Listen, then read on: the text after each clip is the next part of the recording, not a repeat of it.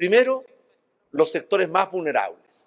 Esta reforma incrementa en forma inmediata, cuando entra en vigencia, en un 10% la pensión básica solidaria, la cual puede aumentar hasta un 50% en función de la edad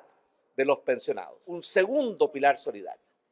para beneficiar a tres grandes grupos que hoy día no estaban beneficiados con el pilar solidario actual. Primero, la clase media. Todas las personas que pertenezcan a la clase media y que tengan un mínimo de cotizaciones, 16 en el caso de las mujeres, 22 en el caso de los hombres, van a recibir un aporte adicional del Estado por cada año de cotización por encima de esos límites. Pero también va a favorecer a las mujeres de clase media, que además de esta bonificación por clase media, tendrán una bonificación adicional por ser mujeres. Y en tercer lugar, queremos incentivar, motivar para que libre y voluntariamente las personas que quieran y puedan extiendan su permanencia en el mundo del trabajo, más allá de la edad legal de jubilación.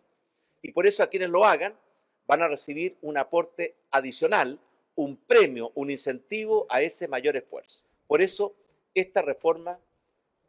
establece un seguro para situaciones de dependencia severa que les va a permitir a las personas que estén en esa condición recibir una pensión adicional o un aporte adicional a la pensión que tienen para hacer frente al mayor gasto que significa el hecho de ser no valente. Adicionalmente, esta reforma se hace cargo de que el ahorro previsional pertenece a los trabajadores y por tanto reconoce y refuerza ese hecho y le entrega a los propios trabajadores el derecho a elegir quién va a administrar ese 4% adicional que va a empezar a ingresar a sus cuentas de ahorro previsional individual.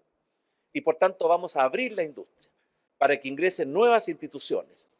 sociedades, filiales de cajas de compensación, de compañías de seguros de vida, de cooperativas de ahorro y préstamo, de administradoras generales de fondos, que podrán competir para ganar la voluntad de los trabajadores chilenos que decidirán quién administra sus ahorros. Hemos establecido en este proyecto una modificación que permite que el seguro de desempleo no solamente pague